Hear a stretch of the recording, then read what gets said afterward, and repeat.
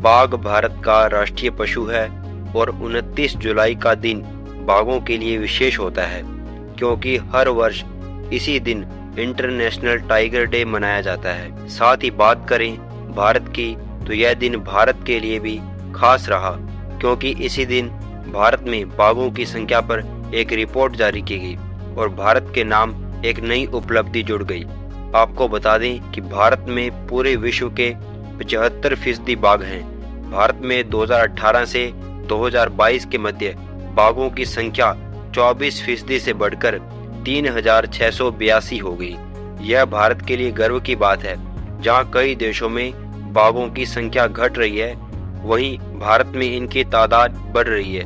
2018 में जब रिपोर्ट जारी की गई थी, तब इनकी संख्या दो हज़ार नौ सौ सड़सठ थी। इनकी बढ़ती आबादी के पीछे प्रोजेक्ट टाइगर का कमाल है। आपको बता दें कि भारत में बाघों के संरक्षण के लिए सन 1973 में प्रोजेक्ट टाइगर आरंभ किया गया था। सबसे पहला टाइगर रिज़र्व उत्तराखंड के जिम कॉर्बेट को बनाया गया था, जहाँ आज 260 टाइगर निवास करते हैं। और इस तरह इन रिजर्वों की संख्या बढ़ते हुए आज भारत के 18 राज्यों में कुल तिरपन टाइगर रिज़र्व हैं। और इसी का नतीजा है कि आज भारत में बाघों की बहुत बड़ी आबादी है। इन बाघों की गणना हर चार वर्ष के अंतराल पर की जाती है और भारत के मध्य प्रदेश में सबसे अधिक बाघ हैं। इसी कारण मध्य प्रदेश को टाइगर स्टेट भी कहा जाता है।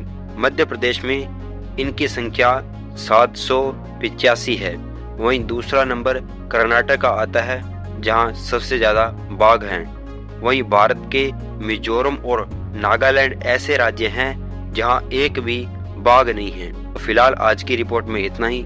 इसी तरह के और वीडियो देखने के लिए जुड़े रहिए पुस्तक बोध से।